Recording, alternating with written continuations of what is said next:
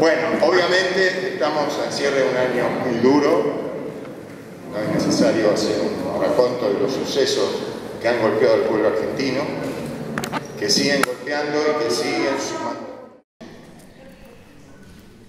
Estaba diciendo, año duro, sucesos eh, que hostilizan y hacen sufrir al pueblo argentino, a las organizaciones populares, obviamente a carta abierta, y que no cesan. Todos los días tenemos noticias de circunstancias y decisiones políticas, aunque parezcan judiciales, que nos golpean. Obviamente, este año ha sido un año de lucha, de resistencia, de dispersión.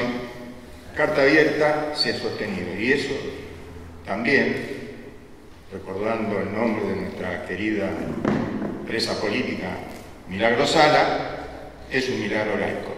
El hecho de que Carta Abierta se sostenga como otras organizaciones populares. A lo que nos enfrentamos obviamente es, como decía alguien, solo tengo para ofrecer, ¿se acuerdan? Tiene que ver con eso.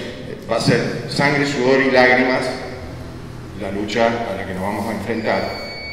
Pero nosotros tenemos que estar seguros que va a ser coronada por el éxito. ¿Por qué? Porque la fuerza es el derecho de las bestias y la razón prevalece sobre el odio, el amor sobre el odio. Nosotros vamos a proponer hoy un mecanismo especial para esta este, despedida de año. No hacer la lista de oradores tradicional, porque, eh, en fin, queremos hacer el brindis, que hablen algunos invitados. Entonces haríamos una lista de oradores corta, a, quienes le pedimos también que eh, cada intervención sea un saludo, con alguna referencia a hechos importantes, obviamente. Luego le pediríamos a Horacio que haga el brindis.